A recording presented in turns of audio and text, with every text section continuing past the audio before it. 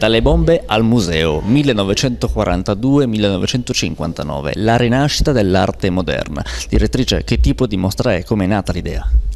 L'idea è nata eh, in una maniera duplice. Da un lato, arrivando qui all'inizio dell'anno scorso come nuovo direttore, ho visto che nelle, nei nostri storage del museo c'erano delle opere ancora danneggiate dalla guerra.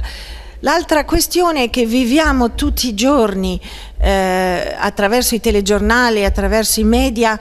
viviamo la distruzione anche di opere d'arte e di architettura importantissimi nel Medio Oriente, in Siria, Aleppo, Palmira, per non parlare eh, in Afghanistan del, eh, della distruzione dei Buddha di Bamiyan. E quindi ho pensato che fosse importantissimo anche per eh, capire, per, per, per, imparare a capire che cosa succede nel mondo, capirlo attraverso una mostra nostra e attraverso il ricordo di quello che era stata la più grande distruzione di Torino eh, nel XX secolo e quindi è una mostra che nasce in questa maniera. La GAM è stata tristemente protagonista in questo, in questo periodo storico. Sì, nel corso di un bombardamento del novembre 1942 viene gravemente danneggiato il padiglione Calderini che ospitava le collezioni civiche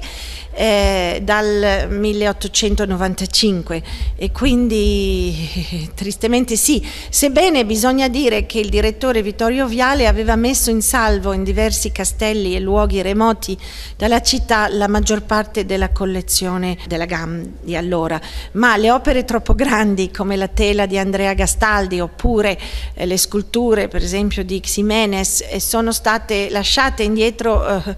eh, per forza e quindi esse sono state gravemente distrutte. È una mostra che racconta la storia della galleria.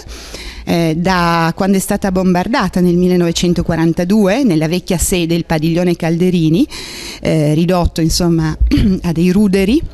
e poi dopo la guerra la decisione della, della, città di Torino di ricostruire un museo e di farlo attraverso un concorso, un concorso che viene reso pubblico nel 52